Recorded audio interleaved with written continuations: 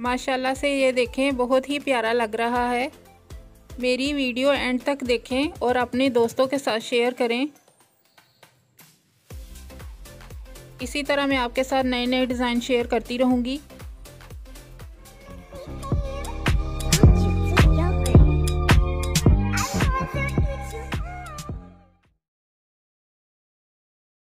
बिसमीम अस्सलाम क्या हाल है आप सबका? उम्मीद करती हूँ अल्लाह के करम से सब ठीक होंगे। आज मैं आपको कुर्ती का नेक डिज़ाइन बनाना बताऊँगी। गले की चौड़ाई पौने सात इंच है और डीप जो है वो साढ़े सात है। ये गोल गला है। इसकी मैंने पहले ही कटिंग कर ली है और पेस्ट भी कर लिया है। सेंटर का निशान भी लगाया है। ये बैक की मगज़ी है। शर्ट की मैंने कटिंग कर ली है। ये बहुत ही खूबसूरत लगता है। अपने दोस्तों के साथ शेयर करें, मेरी वीडियो पूरी देखें। साढ़े सात इंच पे मैंने ऊपर से निशान लगा लिया है।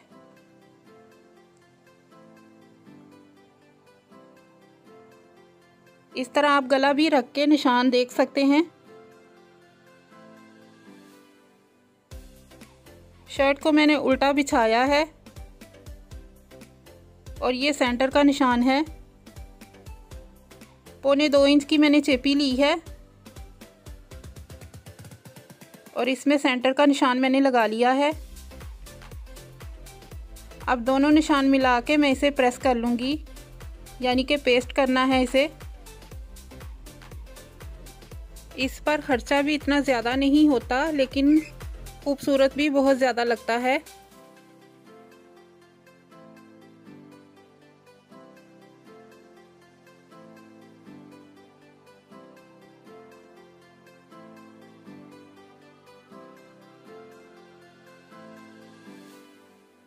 बुकरम को अच्छी तरह पेस्ट कर लें।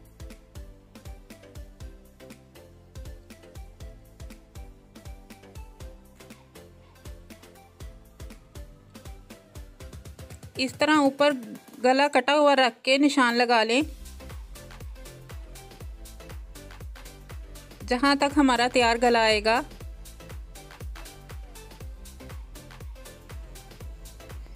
शर्ट को हमने सीधा कर लिया है। और जो निशान लगाया था, उससे नीचे हमने 11 इंच पे फिर निशान लगाना है। और सेंटर से कटिंग कर लेनी है।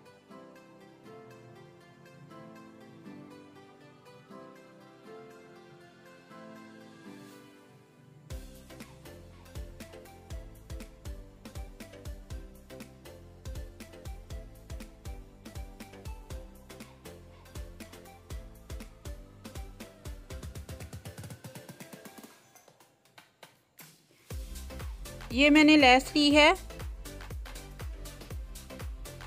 ये आजकल बहुत ज़्यादा चल रही है। जिन लोगों को शीशे नहीं लगाने आते, उनके लिए ये सहूलत है।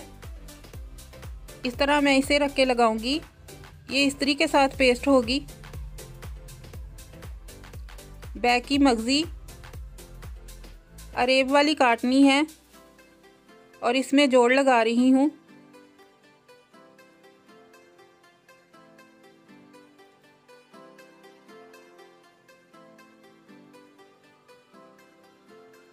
शर्ट सीधी रख के, ऊपर मगज़ी रख के सिलाई लगा लें।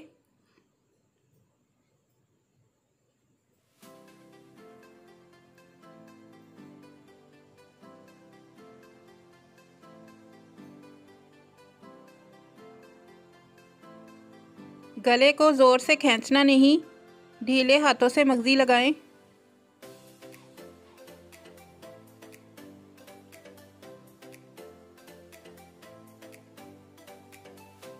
सिलाई को बाहर करके फिर इसके ऊपर फिर सिलाई लगाएँ। इस तरह।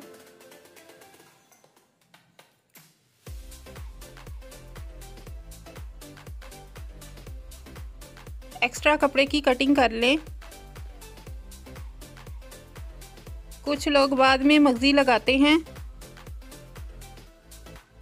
लेकिन मैं पहले ही लगा लेती हूँ। का गला है? एक्स्ट्रा कपड़ा मैं अंदर को फोल्ड कर लूँगी।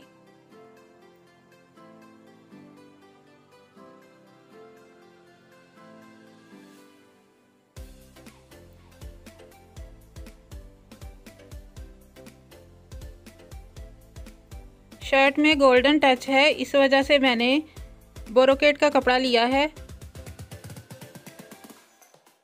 बोरोकेट की मैंने तकरीबन डेढ़ इंच की पट्टी काट ली है। इसी के साथ मैं पाइपिंग भी करूँगी।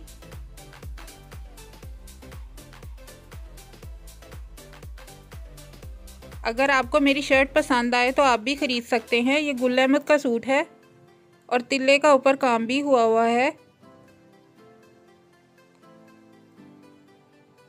कलर भी इसका बहुत खूबसूरत है।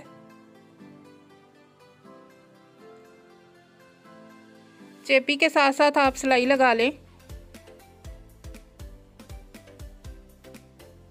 इस तरह की इसकी लुक आएगी।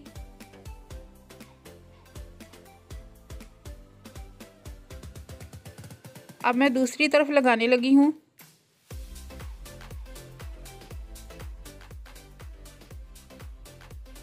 पक्का करके शुरू करें।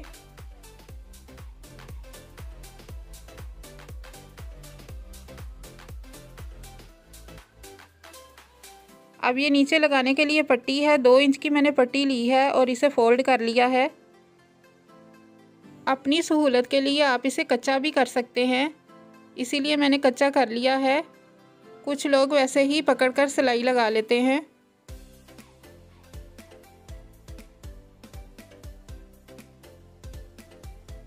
इस तरह बहुत ही इजी लगती है।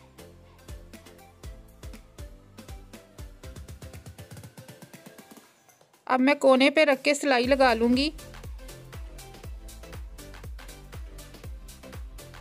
सुई को नीचे करके दूसरी सिलाई लगा लें। तैयार रहे सिलाई को सिलाई के साथ मिला के फिर लगाएँ, ताकि उसमें गैप ना आए।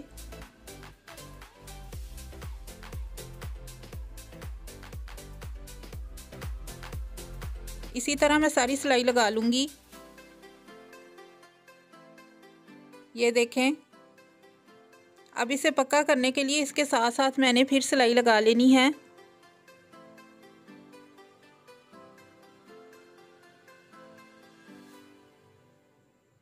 ताकि मज़बूत रहे, कहीं से कपड़ा ना निकल जाए।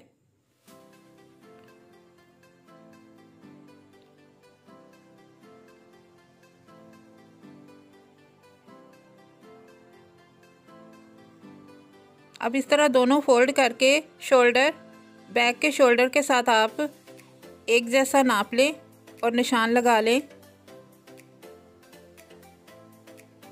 निशान पे गले को रख के पिन अप कर लें। दोनों तरफ़ से।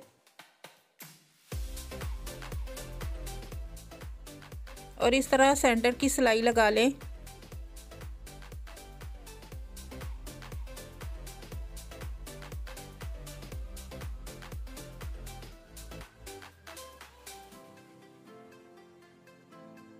गले की कटिंग के साथ साथ भी सिलाई लगानी है।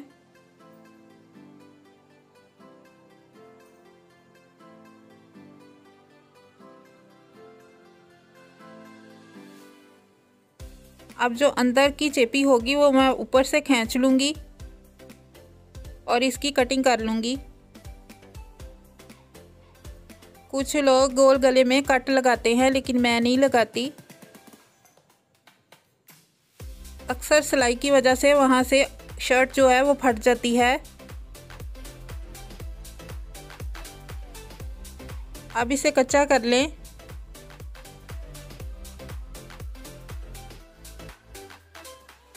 जब शर्ट मुकम्मल होगी तो मैं इसे तरपाई भी कर लूँगी।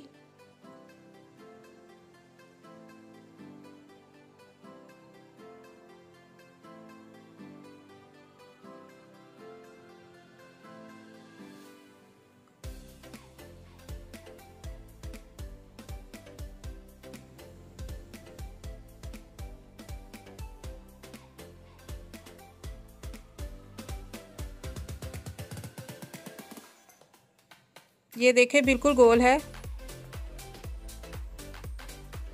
अब इसे मैंने प्रेस कर लिया है।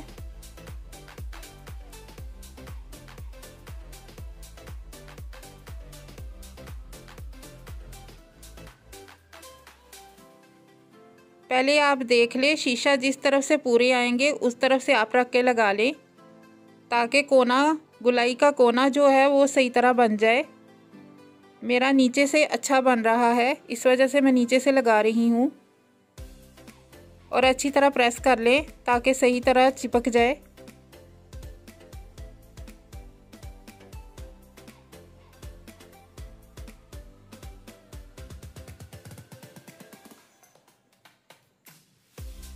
कोने पे आके मोड़ लिया है।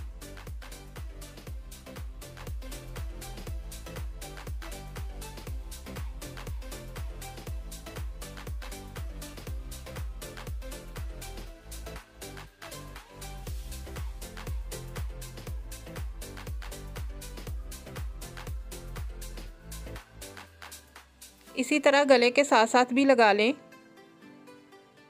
ख्याल रहे, गैप एक जैसा आए। और ऊपर से सिलाई का मार्जिन छोड़ के कटिंग कर लें।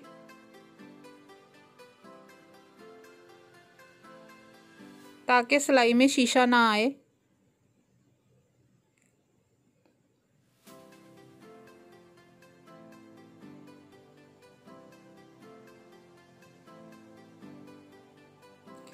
इसी तरह मैं दूसरी तरफ़ भी लगा लूँगी।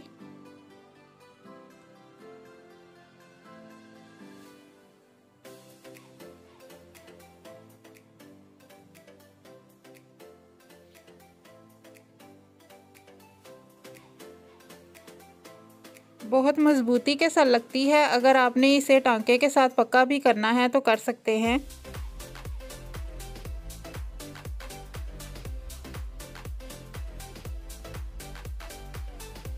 ये भी कोना वैसे ही बनाना है।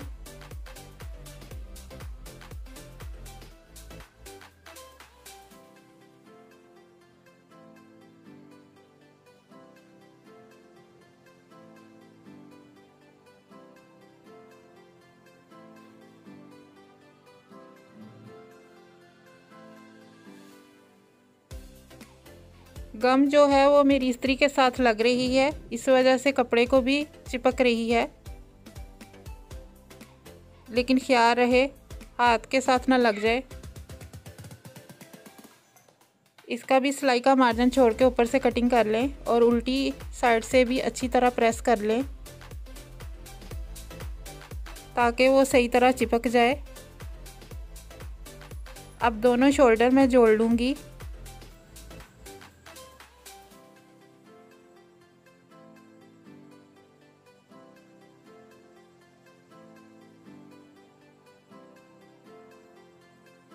इसी तरह मैं दूसरी तरफ़ भी सिलाई लगा लूँगी।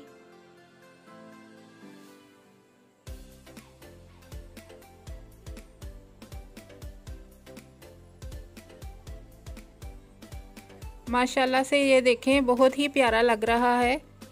मेरी वीडियो एंड तक देखें और अपने दोस्तों के साथ शेयर करें। इसी तरह मैं आपके साथ नए नए डिज़ाइन शेयर करती रहूँगी। अपना ख्याल रखें और दुआओं में याद रखें। अल्लाह हाफिज़।